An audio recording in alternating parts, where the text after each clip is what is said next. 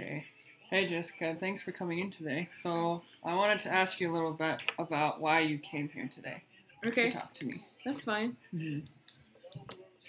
Oh, like like you want like a general Yeah, yeah, outline? yeah. Oh, okay.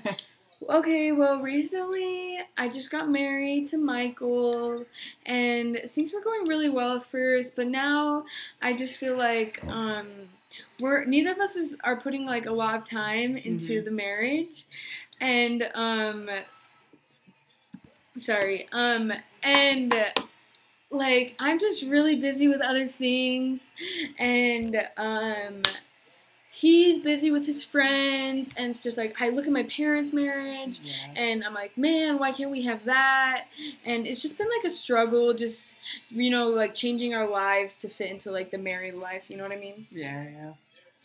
Yeah, I know what you mean. So, from what you've been saying, I kind of got the idea that you guys need to spend a little bit more time together. Maybe, okay maybe instead of him maybe going out with his friends and doing something, you guys can just hang out together. yeah Because you guys are married now, it's not single life anymore. yeah that's a good point Yeah, and maybe you can think about what you're doing. Maybe you can think about what can I do to help it so that he wants to be with me. Oh yeah, like maybe like ask like question like is it I instead of like Yeah. putting all the blame on him. Yeah. Okay, okay, yeah. yeah, and then maybe also I kind of heard that you said like you want your marriage to be like your parents. Yeah, yeah, I wish yeah, that's what like I thought Mhm. it would be, you know, when Yeah, I got married. Yeah, so I feel like your parents also had a hard time in the beginning as well. And they're probably still having hard times right now, but they make it work. And a marriage isn't going to be perfect. It's gonna, you're going to have to work for it. Yeah. So maybe think about that as well, not comparing your marriage to your parents. Yeah. That's a good point. Yeah.